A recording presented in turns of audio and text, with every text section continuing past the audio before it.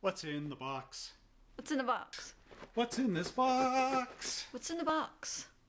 Hello, everybody. My name is Trevor Selescu, and I'm the owner of Monster Hobbies in High River, Alberta, Canada. Today, we will be looking at the 1972 Ford Sports Custom because this is one that I have on loan from my good friend James. You can see all of our available model kits at www.monster-hobbies.ca. I will leave a link in the description below. Now let's go down to our bench and see what's in the box. And now we wind the clock all the way back to 1972 as we check out our Ford Sport Custom pickup truck by Moebius Models. This model kit came out in 2016 by Moebius Models. It features soft PVC tires, detailed 302 cubic inch V8 engine, chrome details, and a detailed chassis. Part of the fifth generation of the Ford F-Series, the Sport Custom represented the top of the line in consumer styling and performance in a pickup truck. Moebius Models precision tooled styrene model kit of the 1972 Sport Custom features extraordinary detail and accuracy. The kit is highlighted by a fully detailed interior, accurate 302 cubic inch V8 engine, and detailed chassis. Completed kit measures over 8 inches long and includes clear and chrome plated parts, soft PVC tires, detailed instructions, and decal sheet. Paint and cement are required for assembly, sold separately. Here's our accurate body styling, chrome details, and a detailed interior. Now let's take the lid off our 1972 Ford Sport Custom by Moebius Models and see what's under the lid. What's nice about this kit is that all the chrome parts are in plastic bags so that they will not scratch one another. Our cab is also in a plastic bag, which again is quite nice, and our glass as well. Then we have the parts for our truck bed in this bag, Tires are also in a nice bag here. Then we have our frame and components in this bag. Our engine parts in here. Then we have our nice full color instruction sheet followed by our decal sheet. And I won't turn this over till the end so that it's a big surprise. One thing I really enjoy with these Moebius model kits is of course the full color instruction sheets because they also give full color paint instructions as we will see. Here we have the beautiful chassis, the frame here which reminds me of the same building style as the AMT 1953 Ford pickup truck which we'll see the link flash across right here. As you can see there are a lot of parts that go together. We've got our right twin I-beam axles, our front steering cross member, steering box, and motor mounts. Our second panel here shows our right radius arm gluing up onto the frame. And our third panel here shows the tie rod and left radius arm gluing up into the frame. And it says, note how the tie rod feeds through holes in radius arms. Panel 1D shows our sway bar and our links gluing up underneath onto our frame while panel 1E shows our three-piece differential all gluing together. In panel 1F, we start to glue the rear springs onto our frame. Panel 1G shows our exhaust pipes going up into the frame. Note that exhaust pipes weave through length of frame.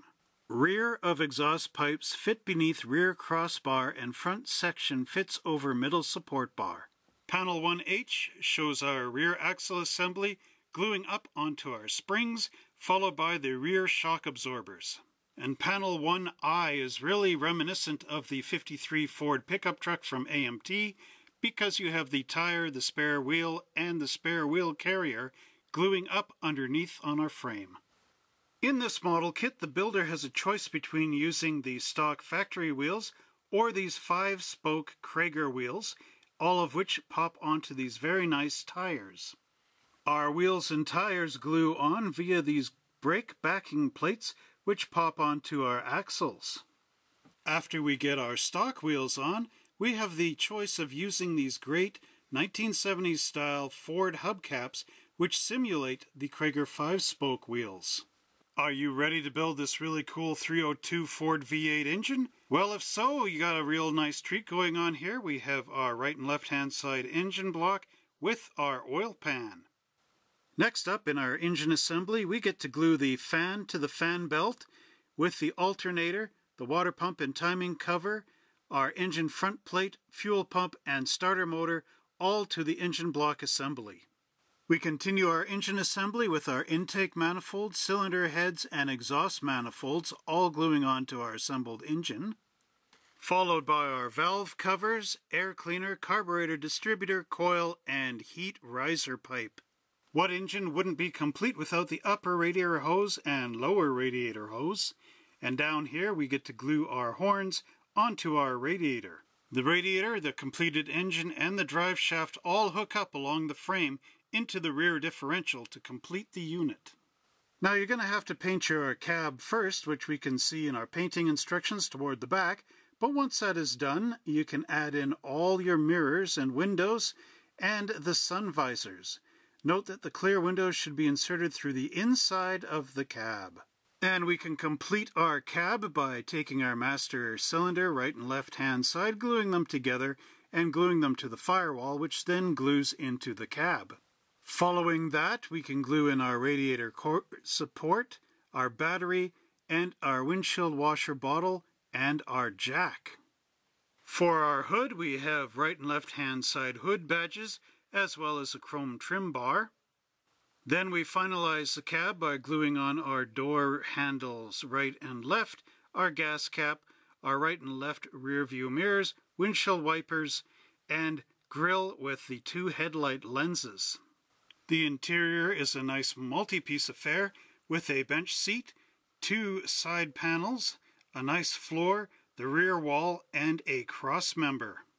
Finishing off our interior assembly is the dashboard, the pedal cluster, which includes the accelerator, the brake, the clutch, and the emergency brake pedal, all gluing up onto this pedal locator, all gluing up under the dash, we also have our steering column and our steering wheel. The cab then drops onto the interior assembly. And now we get into the components that make up our truck bed with our right outer bed walls and the inner bed wall. The bed walls have to go somewhere so we can glue them to the floor, the front wall, and we've got a two-piece tailgate here which also glues on in to make one big unit. Then we complete our bed assembly by attaching the taillight housing and the taillight lenses and our rear bumper. Finally, all our completed components attached to the chassis. So here we have a choice of a rear chrome bumper or a rear step bumper. Our bed drops on, our cab drops in place, our hood goes onto the top of our cab, and then we get our front bumper. The Ford F100 was available in a variety of color schemes, including a number of two-tone combinations. A general list of the factory colors appears on the back page. The builder may wish to do research online or refer to vintage Ford automotive brochures for more detailed references and inspiration. Place the decals as indicated. And here Moebius has given us some paint suggestions. And as you can see, we've got a black along the bottom and a light silver gray up top, as well as a black roof. And here's all our decal placements on the dashboard and the body, license plates, and everything else. And here we have a nice photograph of our decal for our Autolite label, which goes in on our air cleaner. You can also see the nice interior paint scheme that they've given this model.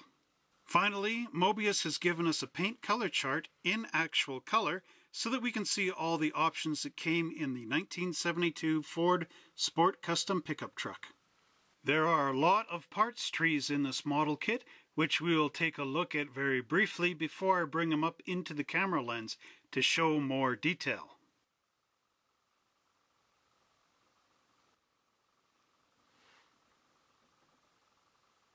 Here's the cab to start us off on our look at the plastic components. And as you can see, there are some nice grills in here with the little holes for our windshield wipers to fit in. Nice molding up along the side of this cab. Very well done by Moebius. Again, the panel in the back has the proper ridges in place. And this side looks really good as well. There's our front of the cab. Looking very nice. Underneath there are some mold marks, quite a few, so you'll need to clean those up with a number 16 hobby blade. But overall, this cab is really, really nice. Our next part sprue includes the hood, the floor panel, and our back panel of our cab. And you can see the nice detail in that floor pressing. Ford letters across the hood.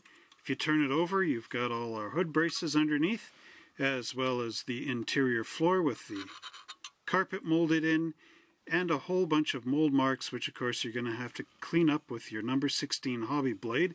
But overall, this is very nice detail and great work. Next, we have our truck bed outers, and you can see the nice trim that carries along on the side of our truck beds.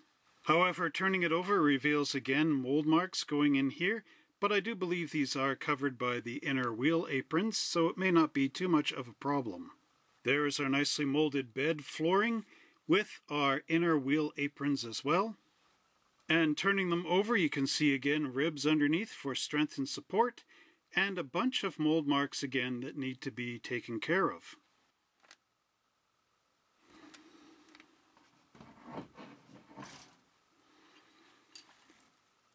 Next we have our interior door panels with beautifully molded armrest and door hinges.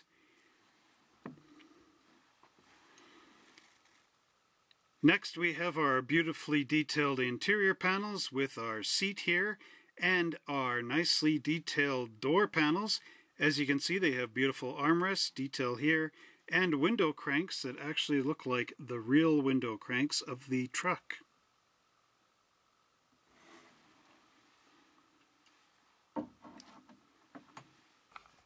Our next sprue includes our frame rails, our front support, our drive shaft, and the pedal mount locators. Our next parts tree here contains our front wheels with the wheel hubs and the rear wheels without any hubs, which is accurate to the real truck. We have our factory radiator here as well as our rear bumper. We also have the front suspension and this nice tailgate with Ford stamped in it, as well as the factory steering wheel and our tie rods right here and our front engine support. Here's what our parts look like close up, and you can see some really nice detail on those lugs. And there is our Ford stamped into the back tailgate. Our firewall rear tailgate, fender brace support, dashboard, inner truck bed, anti-sway bar, and steering column and front axle support here are all part of this parts tree. And look at that wonderful detail on our dashboard and all these nice components.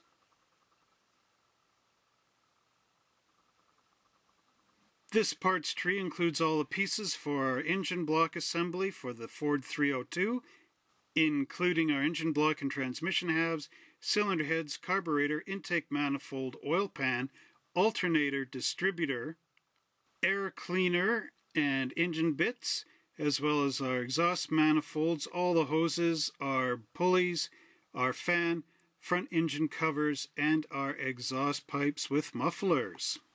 And again, some really nice detail onto all these different components. The final parts tree shows the remainder of our suspension components as well as other details, such as the rear differential and the front cover. Our spare tire with a hole through the center, which is accurate. Front suspension components, our pedals, and our brake master cylinder. Followed by the rear springs, the sun visor, the battery, the wheel backs, our shock absorbers, and the jack and windshield washer bottle, and our horns. Again, the detail on these parts is quite crisp and accurate.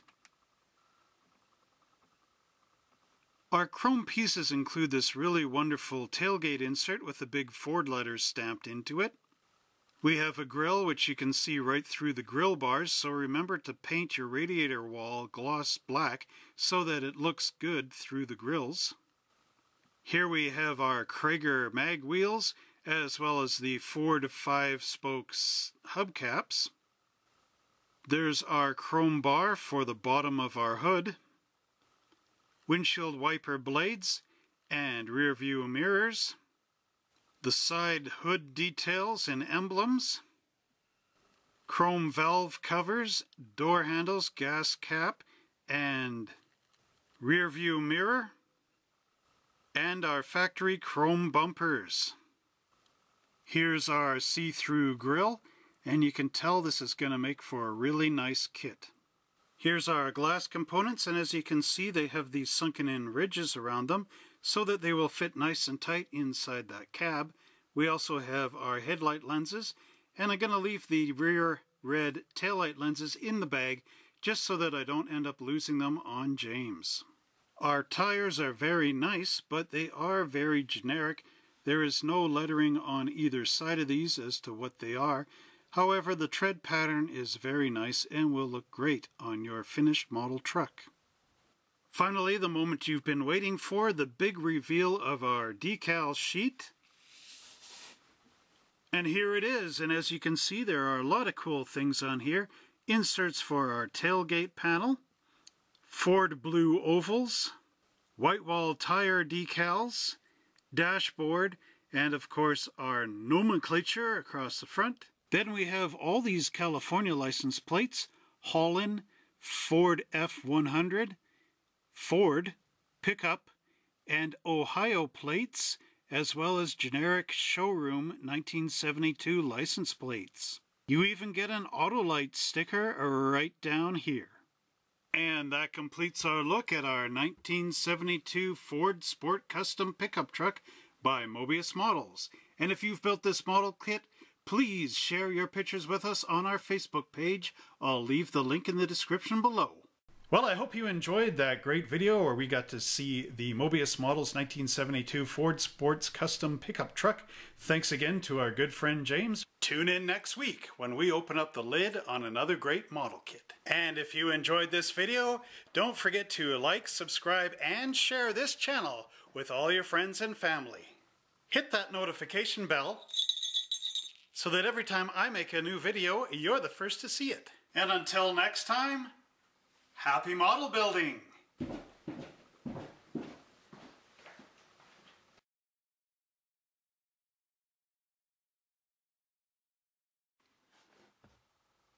Now let's open the lid on our 1972 Sport Custom. Which is... Oh man. Yeah, right. Mm-hmm.